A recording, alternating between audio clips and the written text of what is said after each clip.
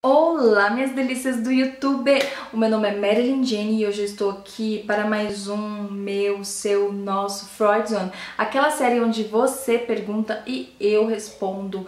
E hoje a perguntinha está muito boa.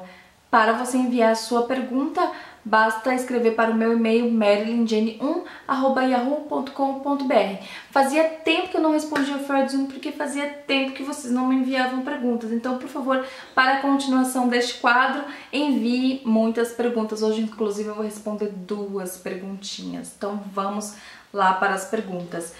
Meu marido foi traído no relacionamento anterior e agora me sufoca com ciúmes, pensando que vou fazer a mesma coisa que a ex fez. O que eu faço?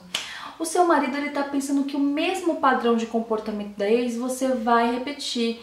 Isso é até compreensível porque ele provavelmente ainda está com medo. A traição é uma coisa, é um baque muito forte, principalmente para os homens. O tanque emocional dos homens às vezes não suporta. Porque homem tem aquela questão também de pertencimento maior, sabe?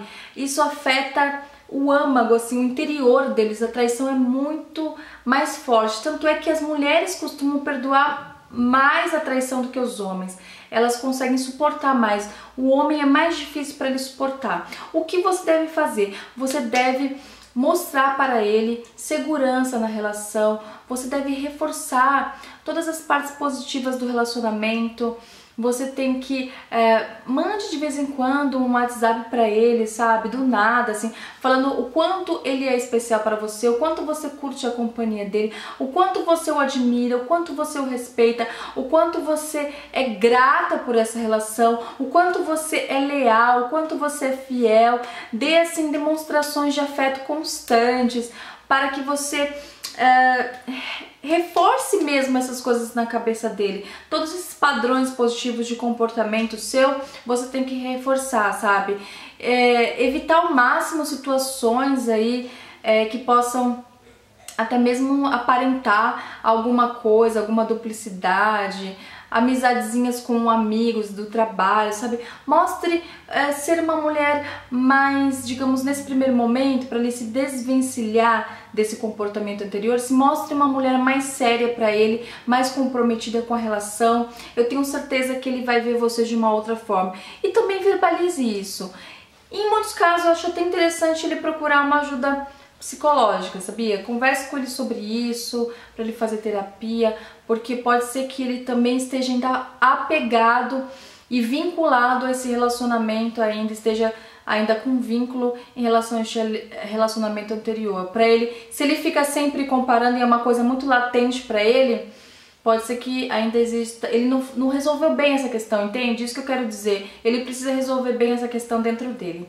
Essa é a dica. Vamos para a próxima perguntinha. e a próxima pergunta é: é verdade que o homem tem mais desejo do que a mulher? Não, não é verdade, isso é um mito. Ambos têm o mesmo desejo, a mesma libido.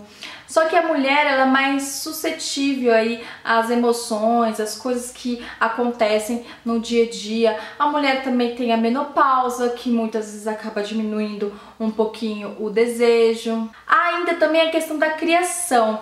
Muitas mulheres elas é, foram criadas de uma forma a ver o sexo como uma coisa suja. O homem ele já foi muito mais assim, é, como se fala, criado de uma forma a encarar o sexo. Ah... Caramba. E o homem, por sua vez, ele aprende desde cedo a valorizar o sexo, valorizar o prazer. E o próprio órgão genital do homem propicia isso, que é uma coisa mais externa, enquanto a vagina é mais interna. Então existem algumas diferenças aí que acabam dando a falsa aparência de que o homem sente mais desejo, mas na realidade não sente. Eu vou deixar aqui no inbox de informação uma apresentação totalmente curiosa e gratuita para você aprender mais sobre o universo masculino. Eu tenho certeza que você vai se interessar muito. Eu conheço o trabalho do César, super bacana, super bem feito. Eu amei o trabalho dele, eu tenho certeza que você vai gostar também. Depois me conta aqui nos comentários qual foi o resultado, o que, que você achou também, tá bom? Se você gostou desse Freud Zone, eu amei. Você amou também? Espero que sim.